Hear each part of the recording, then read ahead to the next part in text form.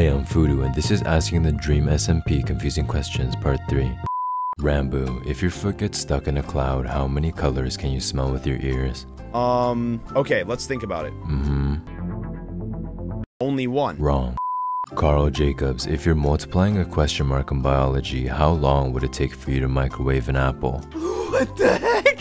How long would it take? What's I mean um Too slow.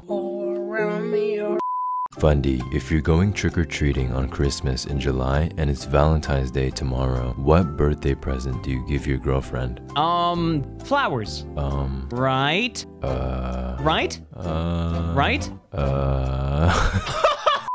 Wilbur Soot, if you're eating a bag of water for breakfast at night, how many guitars do you need to milk a cow? milk me. What? okay, yeah, you're dying, you're dying.